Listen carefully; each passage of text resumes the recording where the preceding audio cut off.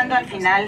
Cumplimos 26 años de lucha y reivindicación de los hombres y mujeres que protagonizaron la primera oposición a la dictadura. Las organizaciones convocantes quieren mostrar nuestro agradecimiento a Juan Lázaro, realizador del cartel del evento, siendo un grato recuerdo de este encuentro en la sierra y nuestro recuerdo fraternal al que hasta el año pasado fue el alma de este acto, Pedro Peinado.